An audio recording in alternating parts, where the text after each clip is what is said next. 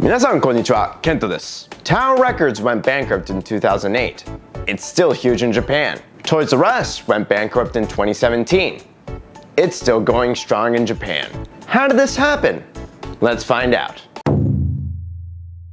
Tower Records started off in 1960 by Russell Solomon as a record store in Sacramento, California. By 1967, business expanded to San Francisco, exploding onto the scene along with the Summer of Love. And by 1979, business was growing. It was then when Japanese business people started to reach out. They were like, hey, you want to open in Japan? So they started talking when the Japanese partners that were supposed to put up some capital said, uh, we don't have as much money as we thought. We cool? Tower Records did not like that. Tower Records then sent people of their own to Japan to see for themselves how the Japanese market was. When in Sapporo, they found a Tower Records already there, a bootleg version. In the end, Tower Records took over the Sapporo store and began running the business themselves. Just a year later, they built stores in Shibuya, and over the next 10 20 years, they continued their explosive expansion.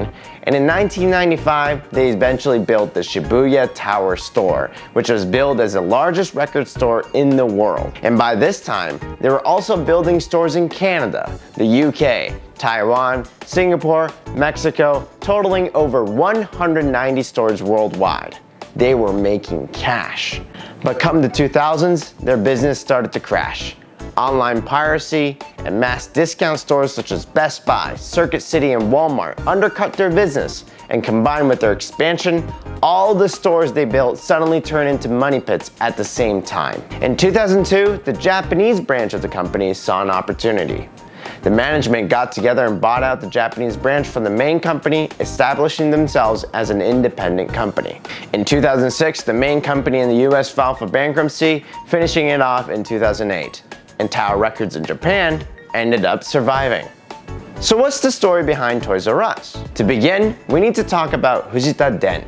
He was working in exports and imports when one day he ate at a McDonald's and fell in love. In 1971, he was the first to be able to get franchise rights for McDonald's in Japan, and the rest is history.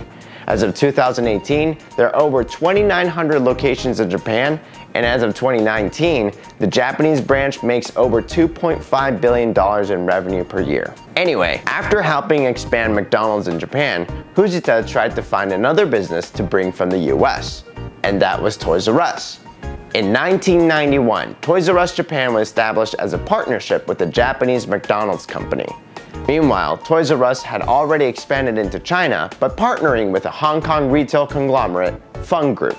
Eventually, Toys R Us Japan and Toys R Us Asia was folded into one large Toys R Us Asia company that was spun out from the US Toys R Us company as a separate legal entity. When in 2017, the US based Toys R Us went bankrupt, the separate Toys R Us Asia company survived. While the US shut down its 800 stores across the United States, 160 Toys R Us stores still exist in Japan. If you are in Japan, you are going to find a Lawson.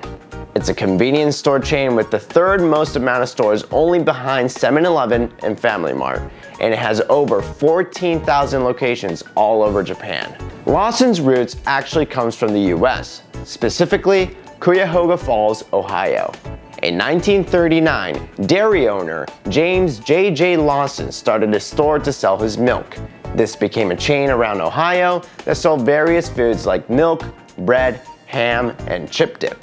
Eventually, in 1959, he was bought out by Consolidated Foods. Fast forward to 1974, Lawson was a popular chain of convenience stores popping up all over the Midwest.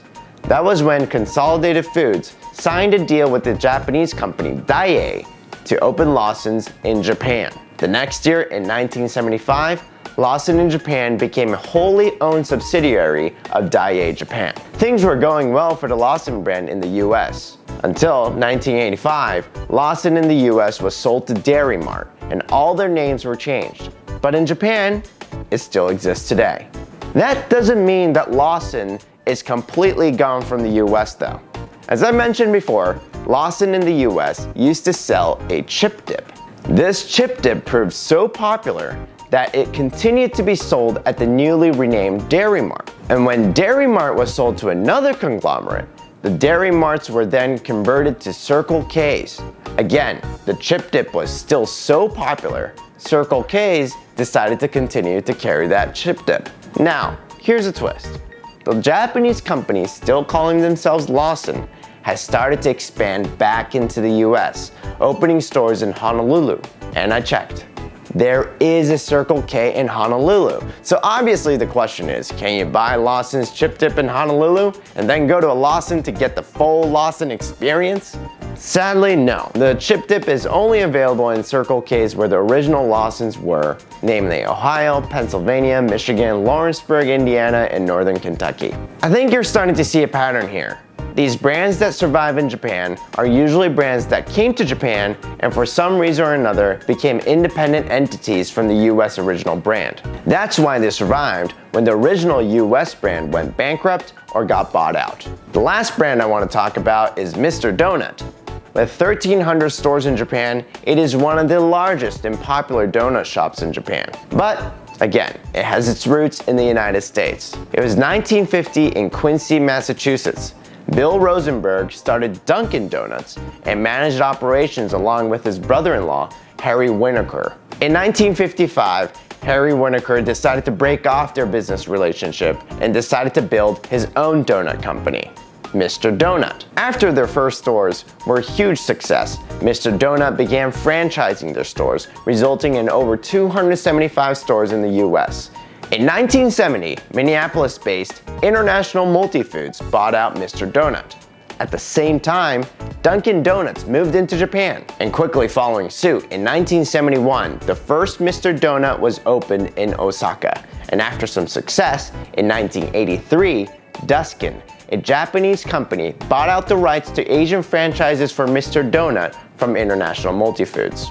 By 1980, Mr. Donut had over 550 stores in the US. Then, an English company called Allied Lyons bought out Dunkin' Donuts, and then immediately acquired Mr. Donut and renamed those stores to Dunkin' Donuts.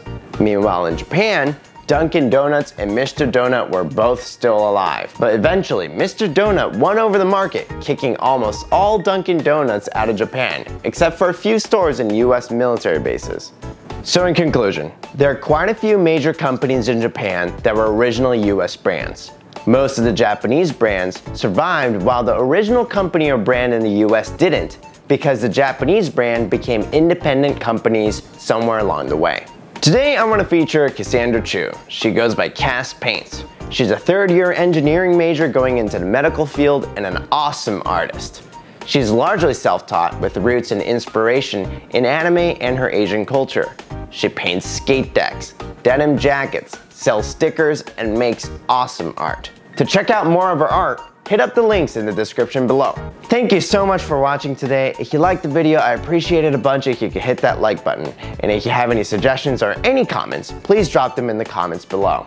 Next time, I'm going to teach you how the way haikus are taught in English-speaking countries is always going to be a little wrong. If you want to find out how, hit that subscribe button, man. Thank you.